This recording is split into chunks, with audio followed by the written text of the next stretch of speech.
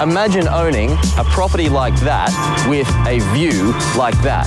One of the first impressions I had, my God, he's like 100 miles an hour. And I thought, is, is he on some kind of upper? He got around in his Rolls Royce or his hot rod. And he made a lot of friends and he made a lot of enemies. Kids growing up in Redfern, we weren't used to people coming in and saying, come down and paint my place and I'll pay you.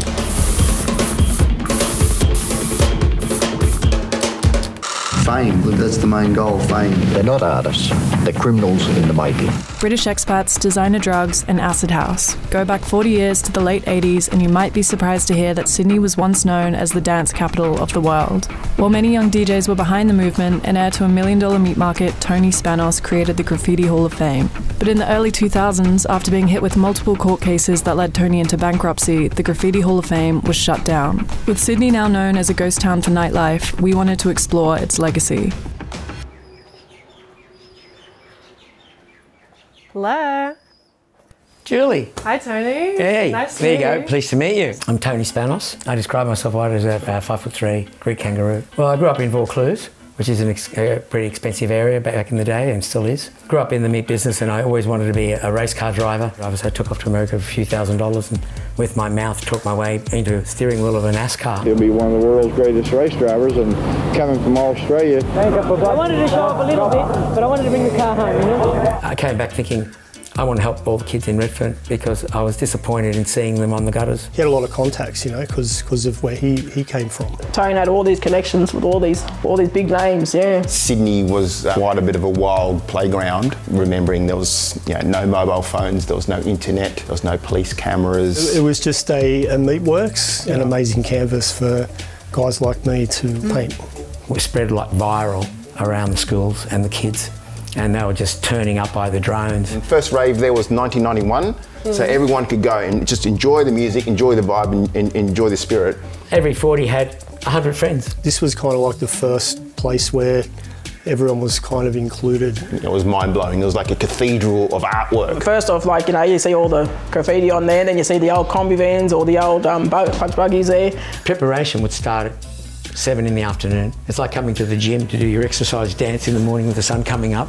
Those parties were pretty mad, you know, like we couldn't believe that we could get away with it. They were pouring lighter fluid all down the walls and there was like flames coming down. Everyone was freaking out, like, they couldn't believe, like, you know, that Tone owned it, like, you owned that building. I never knew any of their real names. I don't know where they lived. Underground Resistance actually played there. It gave kids like myself a little bit of an outlet to kind of escape from that like harsh realities. There, there weren't many opportunities when you grew up in, in Redfern. And most of the kids that turned up, they'd already been through the wringer of life, they'd been damaged. I couldn't damage them anymore. I'm seeing everything I own, my ferries, my cars, my properties, all going in front of my eyes by being generous to the young people on the street, disadvantaged children, and troubled youth. It's not always easy to tell with Tony which stories are true and which ones might be slightly exaggerated. Yeah, well, the movie, movie Days of Thunder was 99% me and my girlfriend Sandy. Tom Cruise and Nicole Kidman saw me as some sort of rival that I might make fame before the release of the movie. And that was the end of my career, so I came back. At one point, he says the movie Yes Man was probably made about his life. But one thing we do know about Tony for sure is that his money and influence in the local community helped a lot of underserved kids. Yeah, Graffiti Hall of Fame was um, diverse in every possible way. And with the local First Nation kids from the block, they were really important to me. Bibi! Home time. Hey! Now on spell. Champion! hey, you're looking younger for a grandma. Marvina and her family met Tony when she was just a kid. Tony would go on to sponsor her brother's rugby teams, try and organise trips for an all star team to the US, and in general, hand out the cash in his pockets to anyone that asked. And the wider community didn't didn't like him because he was supporting, you know, the local people, not only Aboriginal people, but all nationalities, you know. His family disowned him for it, you know.